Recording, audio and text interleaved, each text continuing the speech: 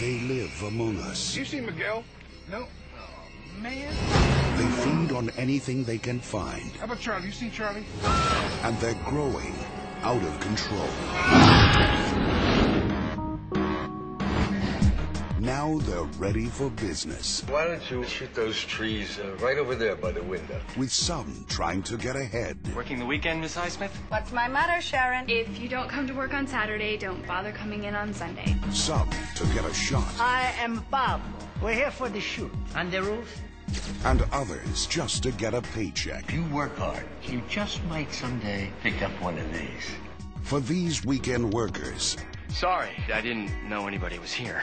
the hardest job they'll have Sharon, where the hell are you? is staying alive. Screw you, Jiminy Cricket. Now, Sheriff Hansen, What can I do for you? Agent Lucera, USDA. A federal agent with a secret. The FBI was alerted that plutonium seal had been leaking. You're kidding me, right? Radioactive ants.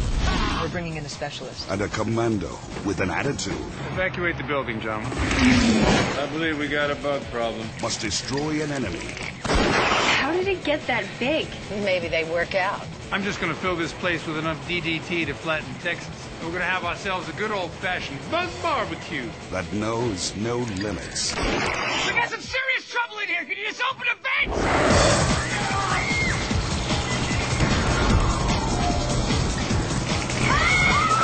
Legion presents C. Thomas Howell in the Glass Trap. Oh God, it's coming, it's coming!